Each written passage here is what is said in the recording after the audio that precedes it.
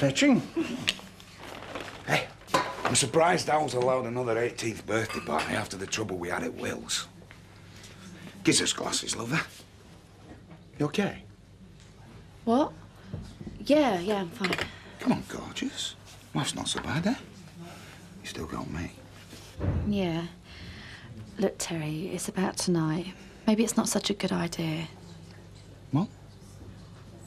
Not going off me, are you? No, it's just all this sneaking in between bedrooms with Grandad next door asleep.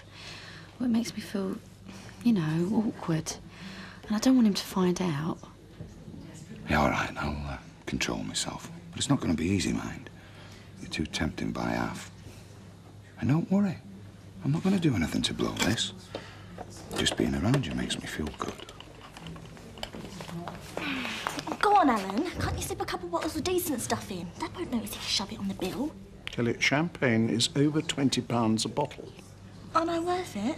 Come on, you can't celebrate your 18th with cheap plonk. Well, I've only got one left, and I'm saving that for a special occasion. What? Your retirement? Oh. A drink with some old friends.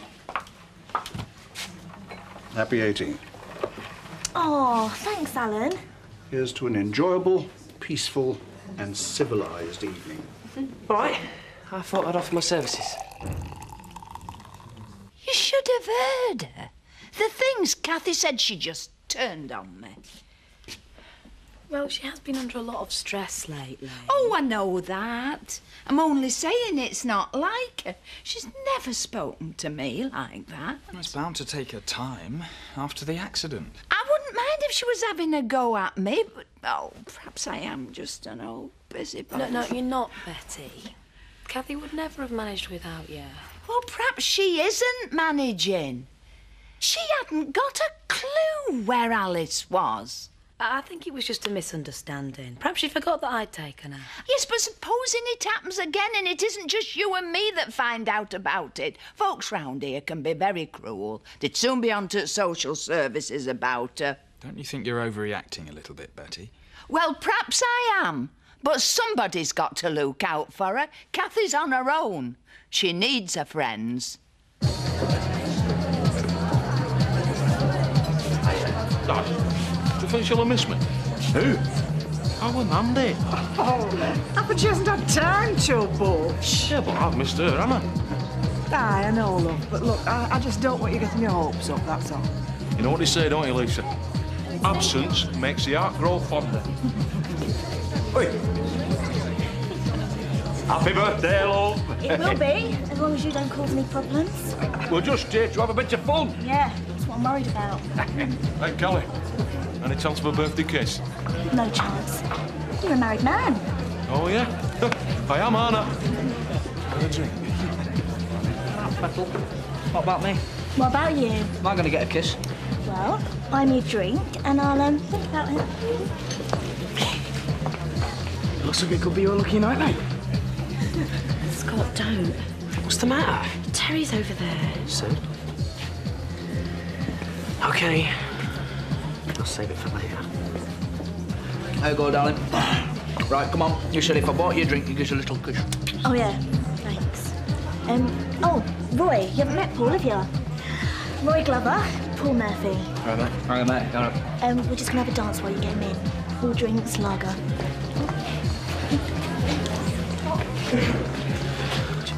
How about a dance? I can't, I'm working. What about later? What about it? Well, your place or mine? Scott, keep your voice down. There you go, mate. Everything okay? Yeah. What do you want? Wouldn't you like to know? What's a pint of lager? You know something, Scott? I don't like you. Oh, Terry, what a shame. I was mad about you. Oh, I just don't like the way you treat lasses, and uh, I don't like that smug smile on your face. Yeah, well, maybe I've got something to be happy about. Yeah, well, just a word of warning, eh? Any trouble, and you're out. Hope I haven't come at a bad moment. Oh, nonsense, Eric. It, it's always a pleasure to see you. Uh, only I've got some news I thought maybe Ned would like to hear. When are you leaving? It's about your, your teddy bear. What about it? Well, I've spoken with the collector, and he seems to think that your Mr. Cuddles is worth rather more than what we thought. Oh, uh, how much? you better sit down. Oh, come on then. One hundred pounds? For a teddy bear? Ah, he's no ordinary bear. I don't believe it. And as a favour to you, dear boy, I'm willing to split the proceeds uh, 50-50. Fifty pounds, that's daylight robbery. How much you say? Fifty pounds? Yeah, yes, uh, cash. 80-20 split to Ned. 60-40? 70-30. Done. But it's not for sale. What? Mr. Cuddles is off the market. Ned, come on, think about it. Seventy pounds cash in your hand. You could treat yourself to a new sheep. I'm not selling it. All right, I'll offer you eighty pounds. Now you can't get any fairer than that. Eric, I'm not parting with it. Why are you so sentimental about cuddly toys all of a sudden? It was our Linda's. I'm sorry. It's one of the only things I've got left of hers. I'm not parting with it.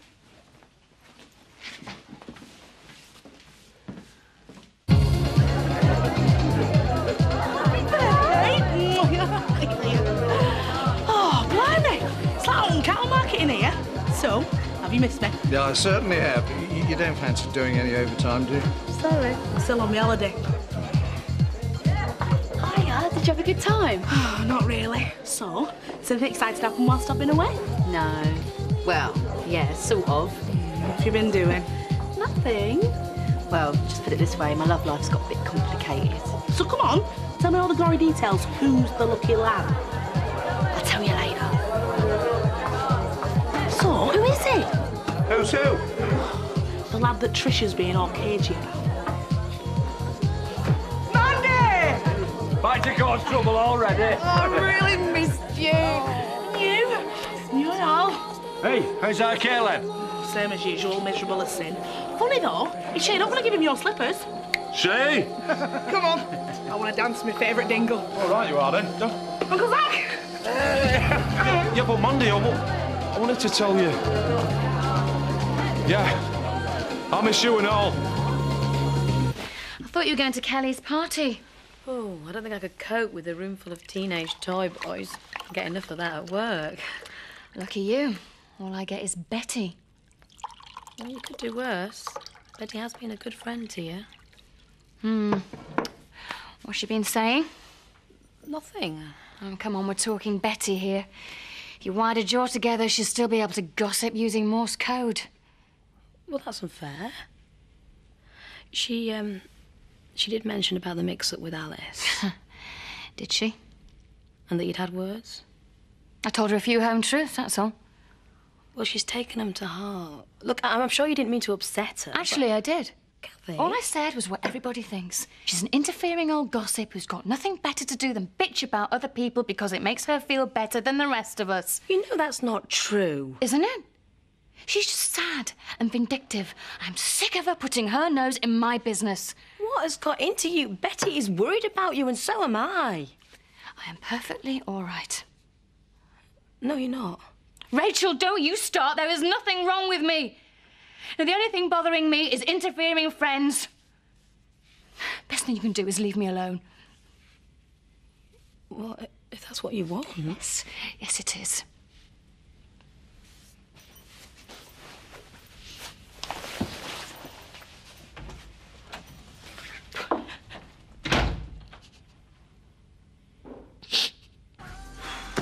This place is dead. We might as well shut up shop and go. Yeah, give us five minutes. Ah. Give us a coffee, will you? Well, so are you. You are looking at a man who's just lost 10,000 quid. Oh, How come? Customer of mine. Backward farming type, you know the sort. He has an antique that's worth thousands of pounds and he won't sell it. Why not? Sentimental value. Blimey, I'd order me out for 10 grand. What is it anyway? Stuffed animal. Very rare. It's worth 10 grand. Not stuck on his mantelpiece, it isn't. Can't put a price on memories. Coffee. I wonder if I should uh, up my offer a bit. What do you think? Why bother? Do what you usually do, Eric. Nick it instead. Don't be so ridiculous. Nah, it's a daft idea. What, with Eric's track record, he'd be the prime suspect. Oi, Probably too late now anyway. I bet you next time you see that animal, it'll be standing in the Antiques Roadshow. What? Well, isn't that what everybody does when they think they've got a priceless family heirloom? Of course, they say they'll never sell, but uh, something with the coffee, Eric. Uh, no, uh, the best value cup I've ever had. Uh, uh, sorry, business to attend. You've got it. Uh, right. Is it something I said?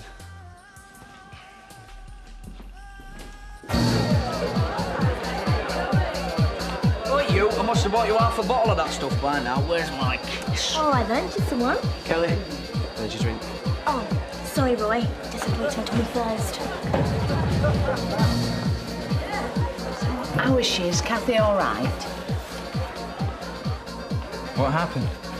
As soon as I started to talk to her about it, she went mad.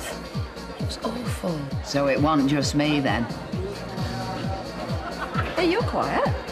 Yeah, what's the matter with you? You don't make a move on one of this lot, you'll ruin your reputation. Don't worry, I'm working on it.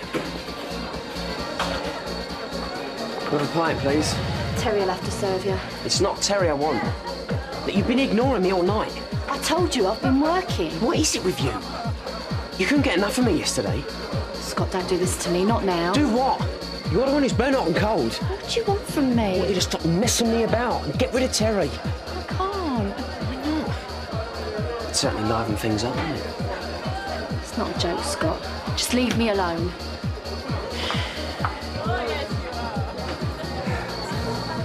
You're out of luck there, mate.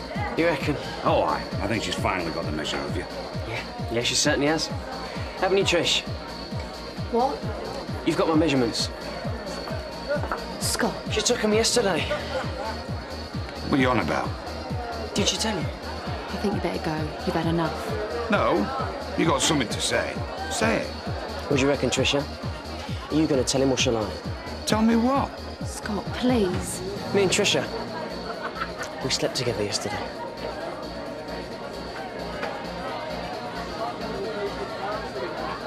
It's true. Is it? I'm so sorry.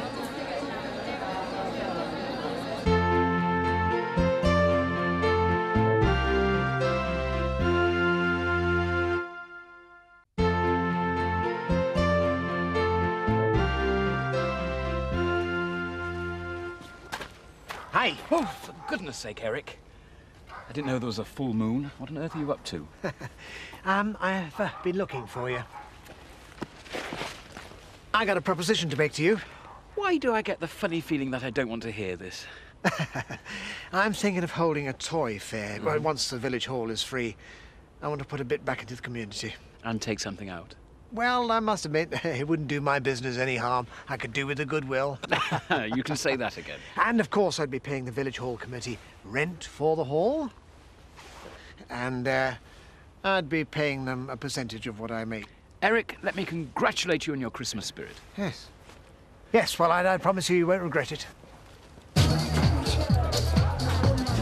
Having a great time. Well, I'm glad someone is. And I told you there'd be no trouble. Oh, yes, there will be when I can find Terry. Where on earth is he? I don't know. Well, he went outside a minute ago. Well, this is ridiculous. I pay him to work, not to enjoy himself. Uh, take over here and I'll see if I can find him. You stop worrying about him. He had it coming. Why did you have to do that, Scott? Because he had to know the truth. No, he didn't. Not like that. Do you know what I think? I think you only slept with me to get to him. Don't be stupid. Couldn't cope with the fact that I might like him better than you. After yesterday, I don't think so. You're only happy when you're causing trouble. Does it make you feel good? Better than everyone else? You do it too. Maybe I do, but I don't enjoy it, and I pity you. Terry? Oh, for heaven's sake, I'm trying to run a bar in there. We can manage with Tricia. She's good with crowds. Something wrong? No. No, just the usual. I guess I'm feeling old. I didn't have self-pity down as one of your vices. No, you're right. Self-pity's gonna get me nowhere. And now what are you doing? There's a few things need sorted out round here.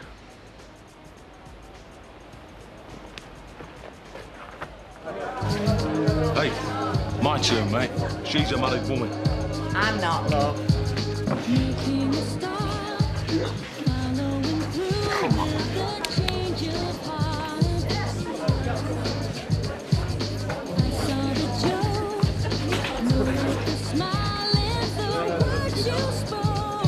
Hey up, looks like Terry's going to make a speech. I'll sing you happy birthday. I reckon it's another birthday present from Mum Dad. Hey, it's a card. Uh, sorry to interrupt the fun, uh, but there's something I want to say. It's a very special young lady who's made a lot of us, and I mean a lot of us, very happy. Here she is. Uh, put your hands together, please, for uh, Tricia Stokes. Terry, please. What's going on? Terry, don't. You'll only make things worse. Worse? How can it make things. Didn't making love mean anything to you? Because it did to me. I'm so sorry. You slept with him? Oh, I. And not just me. No, you see, folks, uh, Al and I provide the beer, but Tricia. Terry, that's enough. Tricia here provides that personal service. At least she did to me and to Scott. Blimey, she's been busy. I want you to apologise immediately. Then I want you to leave. Apologise for what? For telling everybody the truth? That your precious granddaughter's now but a common. Get out!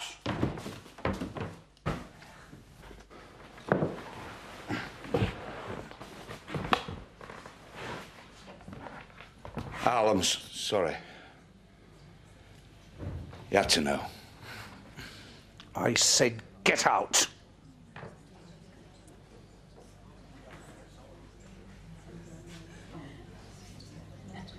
Well, go on.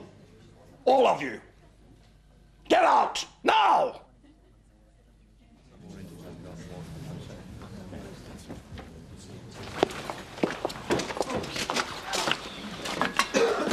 Well, it would have to happen my flipping birthday party, wouldn't it? I don't know, I found it quite entertaining myself. Do you think Tricia's all right or what? It's not Trisha I'm worried about. Scott. So, uh, you pleased with yourself? Well, I'm not the one who lost their rag, am I? Is that it? You really couldn't give a toss, could you? How pathetic, Yeah, is that right? Yeah. Hey, watch it. Right. I want you home now. You've got some explaining to do. Well, happy birthday.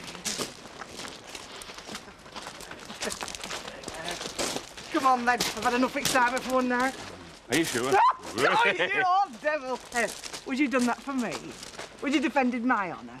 I'd fight Mike Tyson for you, love. Hey, I'm not sure about Big Al, though. Quite a whack, wasn't it? Aye, me too. What? I'll do the same for you. Same what? Now, it, it went out. So you coming or what? No, you go on. Where you going? To find Terry.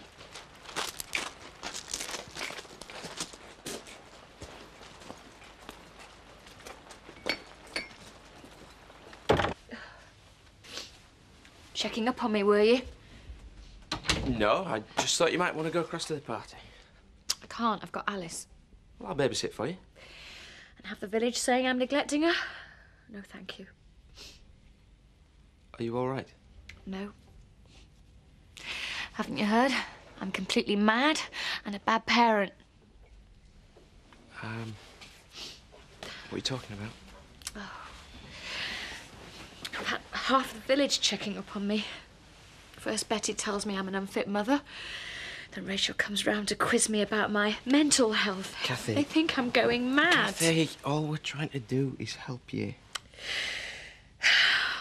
If, if it wasn't for you, I feel like my life's been invaded.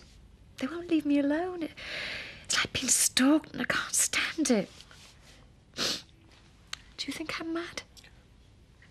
Oh, of course I don't. I'm sorry. You know you're the only person who I can talk to about it. I couldn't bear it if you turned on me too.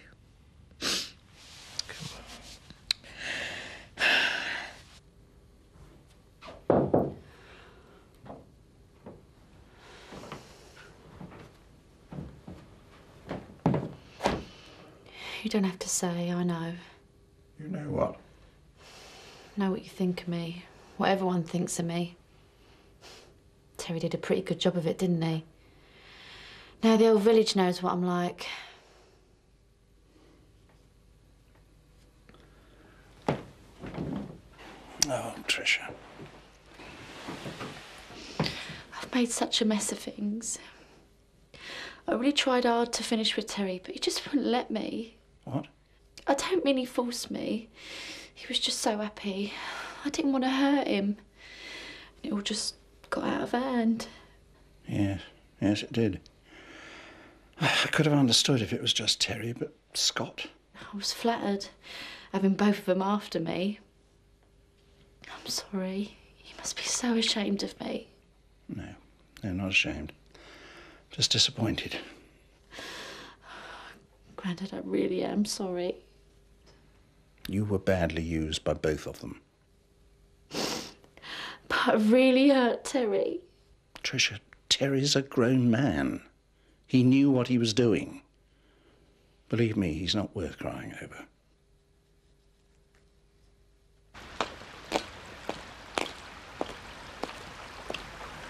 Terry? I made a fool of myself, didn't I? After the way Tricia treated you, I don't blame you for what you did. No. It was stupid. Upset Al. Upset Tricia. Maybe she deserved it. No. No, it was the worst thing I could have done. When you say things in front of other people, you you can't take them back, Terry, it's not your fault. isn't it? I looked at Tricia and I thought that's what I want. I didn't ask her if it was what she wanted, did I? I think she's an idiot. I know loads of lasses that fancy you. I've stopped kidding myself, don't you start. I'm not. Look at me, Mandy. I'm nothing. I live in my memories. I used to be a rugby player. I used to be married. What am I now? Terry, you're a great bloke. Look at all the things you've got. All your friends. Loads of people that care about you. You're not listening. I don't want friends. Don't you think I wake up in the morning and and wish that there was somebody there for me? Not Al in the flaming pub. It's not enough anymore. It won't always be like this. You'll find someone. You don't get it, do you? I've found someone. I love her. I love Trish, but she doesn't want me. Terry.